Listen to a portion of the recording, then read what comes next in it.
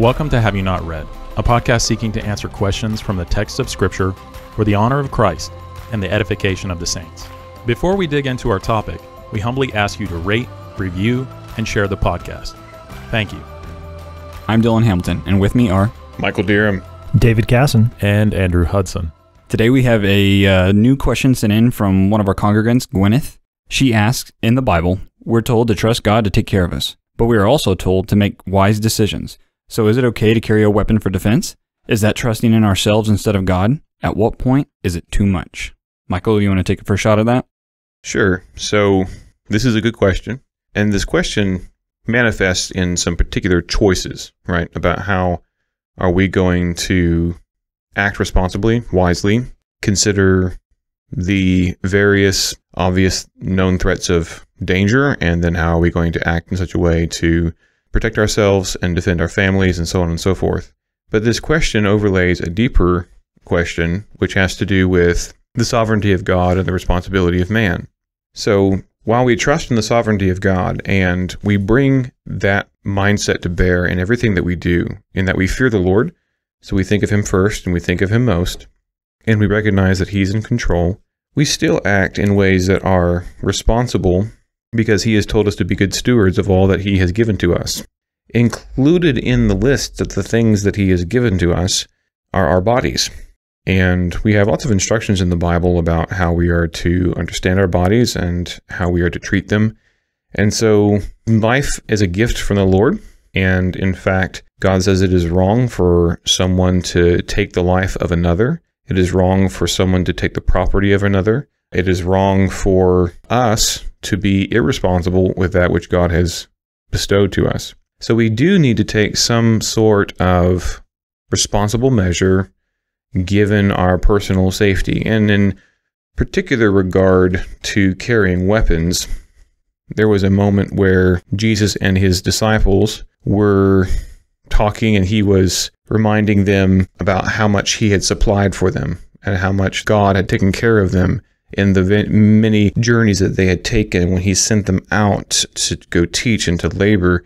And in Luke 22, verse 35, and I hope this is helpful. So in Luke chapter 22, in verse 35, and he said to them, When I sent you without money bag, knapsack, and sandals, did you lack anything? So they said, Nothing. I mean, there are times when we don't have enough. There are times when it is clear there's not much we can do. And at those times, we are especially aware of God's protection and provision in our lives. Listen to verse 36. Then he said to them, But now, he who has a money bag, let him take it, and likewise a knapsack. And he who has no sword, let him sell his garment and buy one. For I say to you that this which is written must be must still be accomplished in me, that he was numbered with the transgressors. For the things concerning me have an end. So they said, Lord, look, here are two swords. And he said to them, It is enough. So Jesus was taking this moment to teach his disciples and to prepare them for his coming death and the uh, traumatic events that were going to occur when they would be scattered because of him. And he's letting them know that things are going to get difficult. And in this, he first, you'll notice how this works, he first reminds them that when they had nothing to go on, God took care of them. Okay. And then he instructs them based on the resources you have right now, do what you should to make provision for your own safety and to set aside what you need for the upcoming days, which will be difficult. And in regards to that, he makes sure that at least some of them have something for self defense. Now, later on, of course, you'll read about how Peter used the sword in the wrong way, and Jesus instructed him in that as well. So, there is a right way to wield and use a sword, to wield and use a weapon for self defense that we have our Lord and Savior Jesus Christ advocating. Now, I know there are other passages that we could think of. What do you think, Andrew, David, Dillon? Well, you talked about self defense and you talked about the responsibility you have to properly care for that which God has given you. That includes your body, your property, your your home, your wife, your family and the especially the responsibility that men have been been given, but also women, mothers, and their children. I mean, we're we're in Oklahoma. You know, there's stories abound of women on the frontier defending their children and their homes. The men were out, you know, for days at a time. The quintessential verse that is brought up regarding Christian pacifism is, you know, turn the other cheek out of Matthew 5. You know, that's uh, verses 38 and 42, you know, talking about, you know, you have heard it said, eye for eye, tooth for tooth. But I say to you, do not resist the one who is evil. Anyone slaps you on the right cheek, turn the other one also. You know, give to the one who begs from you, do not refuse the one who would borrow from you. And that's that's talking about personal retaliation, talking about personal revenge. And what does the law of God say about personal vengeance? God says, vengeance is mine. And you brought up uh, just over the over the weekend, Michael. You brought up what does the role of the state play? Capital punishment. It, that is justice. If someone you know comes at you, and if there's someone commits a capital crime, we have the, we have the state, we have the God ordained state to help us with our the proper punishment for capital offenses. Of course, death. But we don't take that personally. We don't say eye for eye, tooth for tooth. Well, I'm going to go take that personal vengeance. Then you have you have generational blood feuds. So we have to make sure we're dealing with the correct categories here. Don't mix these categories. When you're talking about self-defense, having someone say, um, you know, turn the other cheek, that's a completely different category. That's not talking about self-defense. That's talking about don't take your personal vengeance because God has set up another avenue for that for proper justice. So we're talking about personal defense. That's actually loving your neighbor. If I was going to properly love my wife and somebody came into that house and wanted to hurt her or my daughter, to just let them, oh, I'm just going to turn the other cheek, that's a violation of how you should love your wife as yourself. You actually defend her and defend your family because you love them. So let's make sure we keep these in proper categories. Don't mix personal vengeance with state capital offenses with personal responsibility to love your family. You have to make sure you carefully organize those out. So I hear you bracketing on both sides this godly duty of self defense, defense of family and home. On the one hand, taking up the passage in the Sermon on the Mount where it says, you know, turn the other cheek, and applying that too broadly to cover those areas of self defense, family defense, home defense. That would be a misreading and a misinterpretation of turn the other cheek. I, yes. And then on the other hand, the emphasis on a proper self defense in the scripture, we don't want that to bleed over into the area that is reserved by God's design for the state. That the state is to punish the evildoers and that we are to leave room for wrath. Vengeance is the Lord's, he will repay, and he has a deacon named the state that is to punish those evildoers. Yes. So it's important that we study the word to know where those lines are. And we need to think perhaps of some biblical examples, some some practical working out of those principles. I mean, Gwen's question, which is a great one, has been asked by many people throughout history. You know, if you're going to protect yourself, okay, you're talking about that that first category, protecting yourself, your family, your property from you know an evildoer. We're not talking about personal vengeance. You know, we're not talking about these other areas. We're talking about personal defense. It says, is it a lack of trust in God to defend yourself? So trusting God means we think of Him first. We think of Him most. We, rather than, well, in all your ways, acknowledge Him. Do not lean on your own understanding, but in all your ways, acknowledge Him, and He will make your path straight. So when we're thinking, perhaps, what do you do? Okay, hypothetical situation. The Bible does this. The Bible says, okay, here's a hypothetical situation. Uh, it's night, and there's a man in your home. What do you do? He doesn't belong there. You don't know if he's there to kill you. You don't know if he's there to steal from you. You don't know what to do. What does the Lord say through Moses in the case law? You may put him down. Yes. That you may act in self defense, and that if you kill him in your forceful resistance, you are not guilty of his blood. And so trusting the Lord would mean believing him when he says that, right? So that would be I'm going to trust in the Lord and his wisdom here, and I should know that I am free to forcefully defend myself, my family, and my property against an unknown, undefined threat. And that is a righteous thing to do, no matter the outcome. Is he wounded? Did I put his eye out? My eye's not going to be put out for that. Did I kill him? I'm not going to be executed for that. This was a proper and righteous defense. Um, and so that's just a specific example, you know, to, to help us understand. Now, of course, if this man happened to be a neighbor and he was continually finding ways to move the boundary markers and steal land, perhaps sometimes coming over and uh, filching a lamb and being a nuisance and maybe spreading slander about you. And this went on for a couple of years. And let's say you didn't really handle it right. Maybe you couldn't get the witnesses to prove your case. And your anger and your bitterness grows and grows and grows against this man to the point where one day he comes over to your house and you know he's not there to harm you or your, your family and so on. But then you kill him because you're so angry at him. This, well, you're guilty of bloodshed there. So we can see the difference. We can tell the difference by the clarity of God's word and by the spirit regenerated conscience. We can tell the difference, right? Yeah, the, I mean, the Bible gives us the categories we ought to be working by. And if we refuse to apply those categories, we get into that pacifism because we're actually, and a lot of times it's avoiding the categories that the Old Testament gives us for some reason.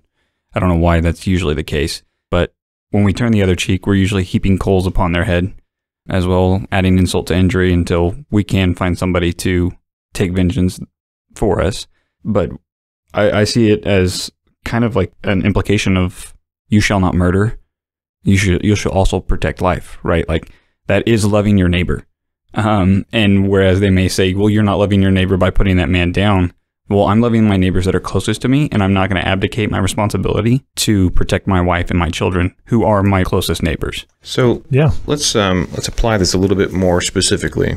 Okay, let's say we have what's the difference between Jesus saying to his disciples, "Hey, do we have you know do you have enough swords?"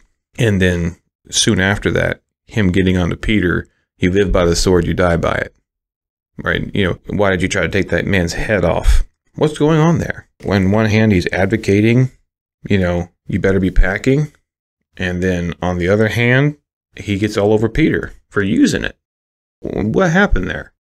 Didn't he willingly allow himself to be given over to those authorities? And didn't he tell his disciples this is the way it has to be? Yeah. he, he like he knew what was going to happen. So in this case, Peter is not trusting his Lord who said, this is what needs to happen. You had you know touched on that. That's trusting the Lord means trusting what He has said, what He has said regarding self-defense, what He has said regarding personal vengeance, what He has said regarding this is the state, and what Jesus said regarding what His mission was when He set His face like flint towards Jerusalem. That when He sent them out, they had to trust that He knew what He was doing by sending them with a couple of swords to go out and, and do the work He called them to do. And they also should have trusted what he said when he said, This is the will of my Father. Don't get in the way of it. Get behind me, Satan. Yeah, I'm glad that you mentioned that because obviously Peter is the same one that Jesus spoke to about resisting the things of God and only being concerned with the things of man. All right, let's dive into this again. What's the difference between there being a person or a group of persons whom you know to be a threat to you, your family, and your property, and you know possibly where they're at? You mean Congress? oh man. Wait, was that? I'm sorry. Was that not the direction you were going? Well, um, you know, sorry. well, that'll be, you know, further down the road here. Throw me off my stride. But the, what's the difference between that and you making a fair, reasonable assessment of that threat? And why is that? Why is it different than between that and them or a person or a group of persons posing a threat being on your property or in your home? Why is violent resistance okay when the threat is imminent Yeah, imminent, imminent threat. Right. versus a different type of imminence where you know it's going to happen. It just hasn't happened yet. Time isn't that m- the major factor between the two? Is just is time um, that the uh, authorities have to get there or not? Yeah, when seconds count, the Yeah. yeah. the, the police are ten minutes Like away. like the jurisdiction is determined by the time in these cases. I, Yes. I guess you would say. And, and even you go- Exigent circumstances. Yeah. Well, and, and think about again in the household, in the government of the family, what is the father, what is the husband to do, and what is the mother to do? What are the older children to do in this case? But to act on the authority of the family to defend the family. And this is again a God bestowed. We're we're doing it in the fear of the Lord. Right? This isn't taking things into our own hands, denying God's organization of these matters, the time difference is there.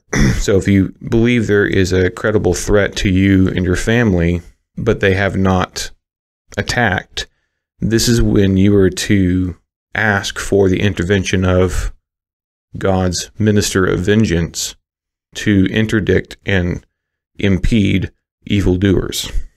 That would be trusting God, trusting yes, the, exactly. how He set things up, trusting that it says the the state is the the, the minister, trusting Him for that. You have an imminent uh, you know imminent threat, then you're trusting that God has also uh, set that up as well with the, just the uh, direct authority that you know the the father would have in that family, a responsibility, a God given responsibility to defend his life, defend his family's life because of the imminency of that threat. Either way, depending on the, the nature of the threat, in both cases, that person is trusting God. Okay, so now let's say further that we're living somewhere in mid or eastern Ukraine. Okay, we're a Christian family. We have a church. We're called repenters by the Eastern Orthodox Church. They mock our warm following after Christ, right? Our lack of formalism and liturgy and so on and so forth. But we are a true band of believers, okay? And we see that there is a growing threat to the east. All right, war drums have been beating and growing louder and louder and louder. Now, it's wrong, we've already established, for us to then lose our patience, grab our AK 47, and go driving towards the Russian border and shoot the first Russian official we see. Correct? That would be wrong. That would be not leaving room for vengeance, not and then taking things into our own hands. But if we perceive there is a threat upon our border that will bring harm to us, our family, and our property, then we must appeal to who? The state. And this state is uh, greasy and slimy and full of corruption and, you know, hard to stomach. All the above. But yet, yet, still in the position as a minister of God, still accountable to God for all that they do. And so we still trust the Lord. We're not trusting the state, notice. Okay? We, we know their pitfalls. We're not trusting them. However, we trust the Lord and the system that He has put into place. And so we appeal to the state and say, Your job is to protect us. You know, what are you doing? You need to oppose evil. Calling them to be faithful servants. Yes, calling them to be faithful servants.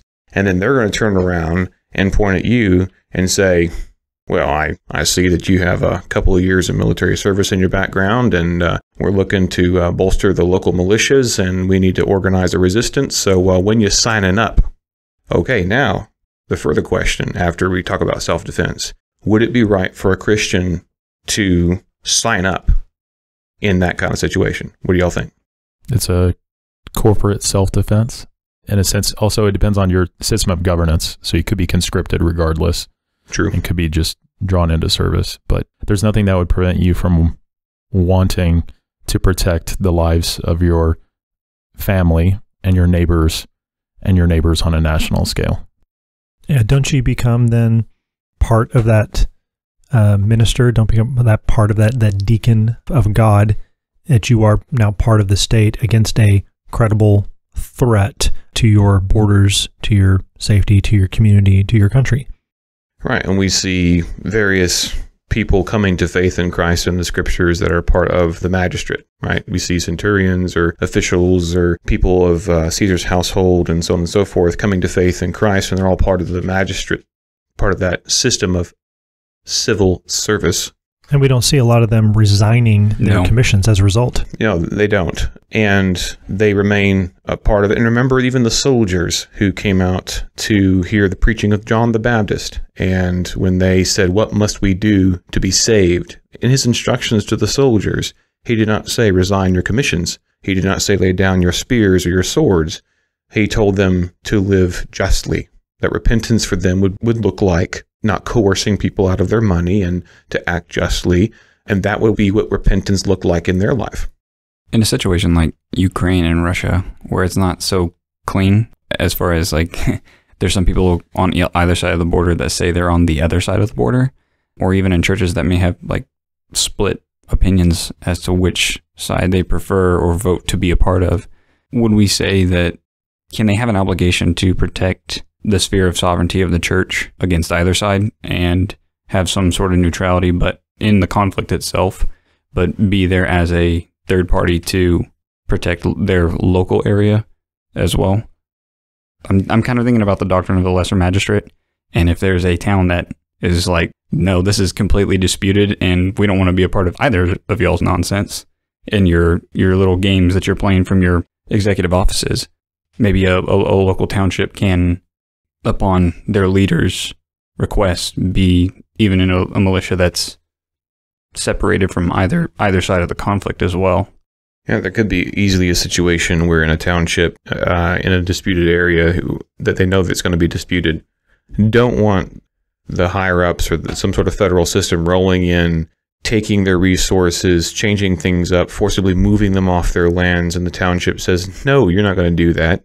You have no idea what's going on out here, and you're not just going to come in here and steal everything. You're, you're acting unjustly Right. and they organize their township for resistance against the Ukrainian flag. But then when the Russians roll in, they're also still in resistance mode, saying, This doesn't belong to you. Stop trying to steal. Just because you have more guns doesn't mean you just get to take everything. Right. Okay. And in that case, members there under that governance submitting to that local magistrate who's trying to do what they believe to be right. Yeah. I mean, you, you see the flexibility and the importance of the doctrine of the lesser magistrate that, you know, we need to, su- we need to submit to the governing authorities.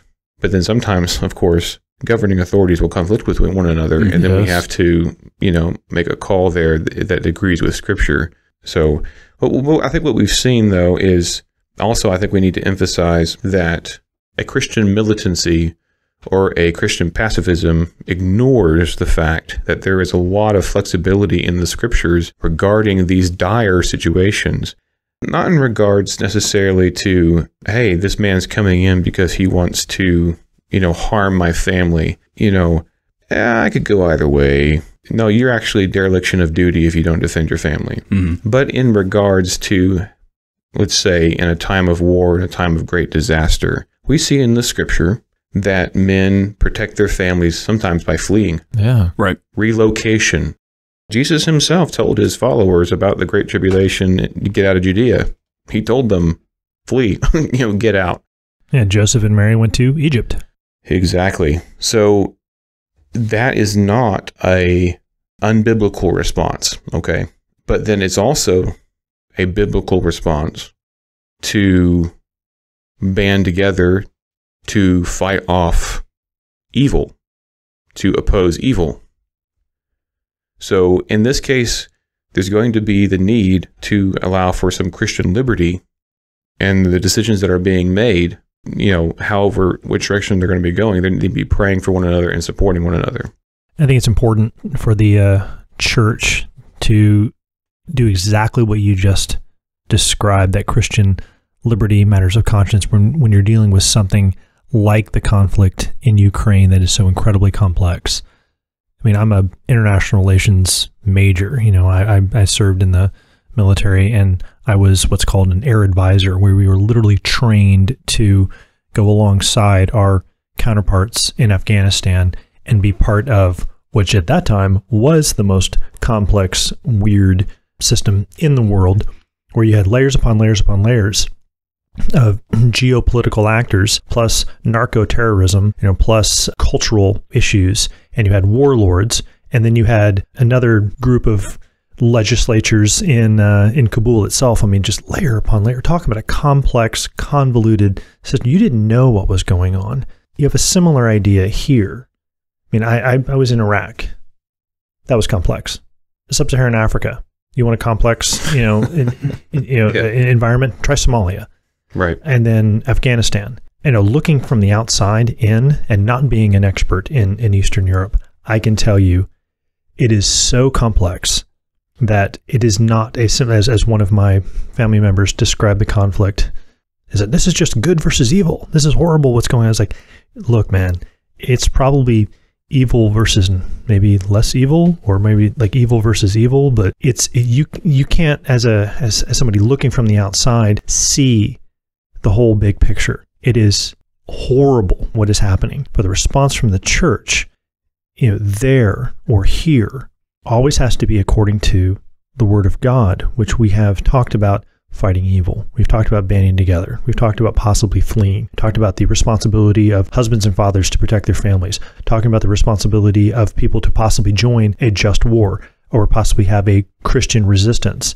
I mean, there are we, what we just described five different possibilities depending on upon the, the you know the situation Yes. and requires that Christian liberty and wisdom to know what those people are doing at that time. But to call it such a black and white issue is that these people on this side are evil and they're the invaders, and these people are good, and we need to give forty billion dollars to the people who are good. Yeah, you're just making the problem worse. Yeah, and I think the reductionism going on, trying to break it down into a bumper sticker, you know, a movie plot line that, you know, can sell is, of course, deceptive. I like this verse in Daniel 11, Daniel chapter 11, in description of conflict between nations and empires and a mess of various warring factions. At one point in Daniel 11, talking about two kings who had been at war have a moment to sit down together and basically sign a ceasefire. Okay. But listen to the way that God tells the story. Verse 27 Daniel 11 Both these kings' hearts shall be bent on evil, and they shall speak lies at the same table, but it shall not prosper, for the end will still be at the appointed time. Bring us back to kind of where we began, reminding us of the sovereignty of God in the situation and that we don't have to look around in these incredibly complex geopolitical situations where there's war going on. We don't have to look around for some sort of idealistic. Oppressed versus oppressor. yeah, Oh, I mean, that's what the whole that's Yeah, it's, that's, you're right. that Oh, yeah. thinking applied to this. Yeah, you're right. you are dead on about the Marxification Yeah, of, of this conflict. every con- every You're- conflict we've had, Yes. right? Like I you're, mean, you're absolutely right, Dillon. I mean, that is that is really helpful. you want else? You want to know what else they all had in common? Hmm. They all tried to get off the dollar system before all before war broke out. I'm just gonna throw that out there to to be a kink in this one. are you talking Yeah. about the Libyan dinar, the gold dinar? yep, and same thing with Saddam. He was trying to go to gold as well. It- well, I, about- yeah, I, I, complex. Yeah, okay. yeah, I agree. Um, so, uh, but it's important to remember that when we're talking about conflict, sometimes we want to make sure that we know we're on solid ground engaging in any kind of violent conflict. We know that this is not to be taken lightly. We must take it seriously, and the best way to take it seriously is to fear the Lord. And if we find ourselves in a situation of self defense, we may do so trusting the Lord. And if we find ourselves in a situation where we need to relocate and flee, that's trusting the Lord. If we find ourselves in a situation where we need to take up arms and stand with fellow citizens in an engagement which no doubt was started by evil versus evil and a whole bunch of mess that was deeply rooted for decades prior, and it's so complex that it's hard to see the black and white, good and evil, we don't have to fall for some tagline, some Marxification of the of the conflict or some idealistic, you know, perfectly just war where we are, you know, wholly in our taking up of arms. We don't need any of that. All we need to know is that there is a true and imminent threat to our lives, our family, our property, and that the best way to take up self defense is to do so under the banner of the state, as tarnished as it is, because that's God's minister to punish evildoers, and that we may do so with a good conscience. Amen to that. One one of the things I was thinking about, we were talking about issues of conscience. We can recommend your sermon series that we went through. Romans 14 was that last year on on issues of conscience, but it was applied to kind of some of the COVID restrictions or, or government restrictions. Yeah, it's 2020. Yeah, 2020. That's right. And I would say if you can take some of those categories of self defense and war, you can almost map it across. In the same way, Theodore Beza wrote a learned treatise on the plague, which I read a couple years ago when all the COVID stuff started coming out. And he outlines almost the exact same amount and methodologies in either avoiding or combating the plague.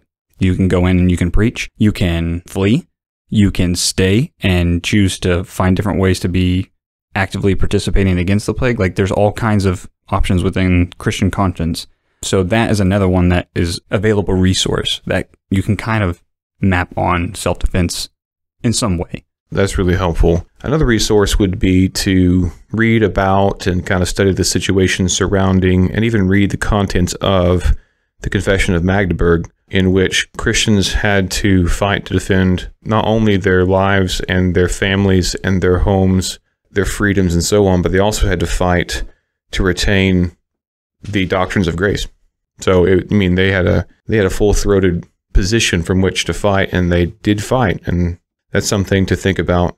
And again, also you could also look through examples of reformers. Um, some of them who fled, like John Knox, left Scotland to go to Geneva, right? And then you have uh, Zwingli taking up his axe because of the imminent threat and going out and trying to defend uh, their their land from from Catholic uh, armies coming over the hill.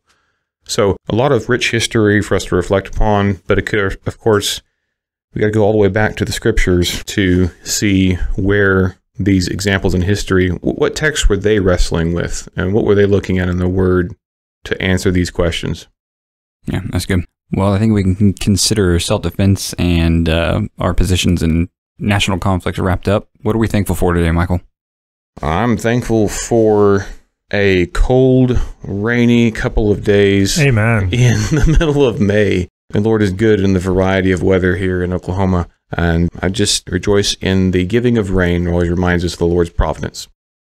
Uh, I'm thankful that you know I travel all over the country, and I just forget how difficult that is for normal people. Uh, you know, to, uh, my family to uh, you know drive cross country back and forth actually takes quite a bit out of them.